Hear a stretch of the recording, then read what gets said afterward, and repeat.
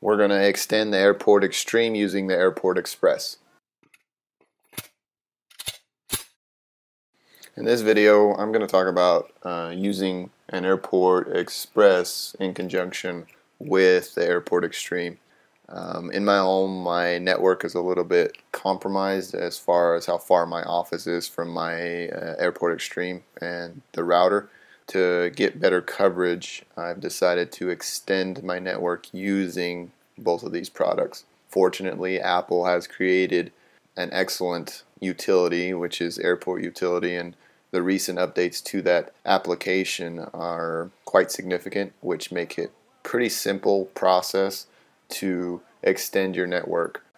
Alright, so let's go ahead and get to Airport Utility. Go to your applications, scroll all the way down to the bottom, find your utilities folder, and there you go, there it is. As far as that goes, it's it's in my sidebar. I use it quite frequently to update and whatnot. Okay, here we go. We are inside Apple's Airport Utility. With that, as you can see, we can only see the Extreme at this point because that's the only thing running. So if you look up at the top left-hand corner, um, it's stating that there is another airport base station available. So with that, we're going to go ahead and go up here and select that. And here is where we will see the Express show up. When you select it from the drop down, Airport Utility already recognizes that you're attempting to extend a network. So if you just follow the on-screen instructions within the utility, you will get it set up in, in no time. Some of the best practices while doing this though I would highly recommend that you place the Airport Express next to the Extreme during the initial setup process as to establish the strongest connection between the two before moving the Express to the location as which you intend to use it. So for example, my Extreme is in my laundry room and my office is on the uh, opposite side of my home. So I set up the Express directly on top of the Airport Extreme um, during this process. If you're following along with me at home, your Airport Express is probably in need of an update as mine is here in this example. So just go ahead and do that. Um, just follow along with the on-screen instructions as far as that goes. Uh, the Airport Express will be unavailable during this process. Um, we're going to take a look at the settings. If your Airport Extreme was already set up to manage multiple networks, um, if it was secured, all those preferences have been carried over to the Airport Express. So essentially Apple's made it really easy to extend your network using this utility.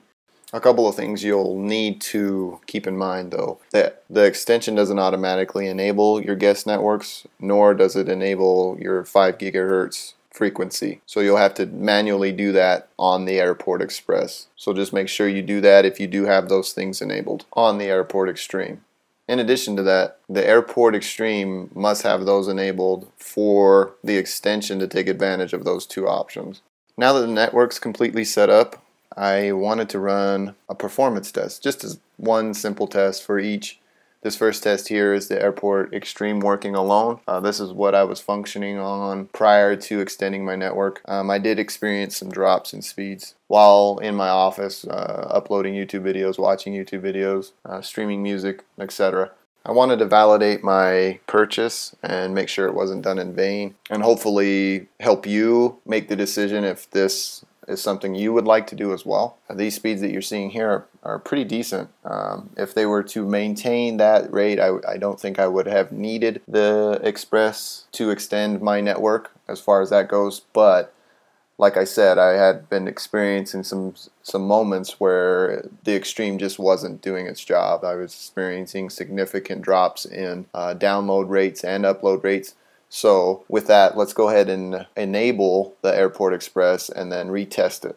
I'm experiencing about five better download speeds with the network extended, but the uploads seem to have remained constant. With that, that concludes my video. Hopefully I've helped you make a decision if you were thinking of doing something similar to this. Uh, feel free to check out some of my other videos. Thank you for taking the time to watch this video. I hope you're all having a great day.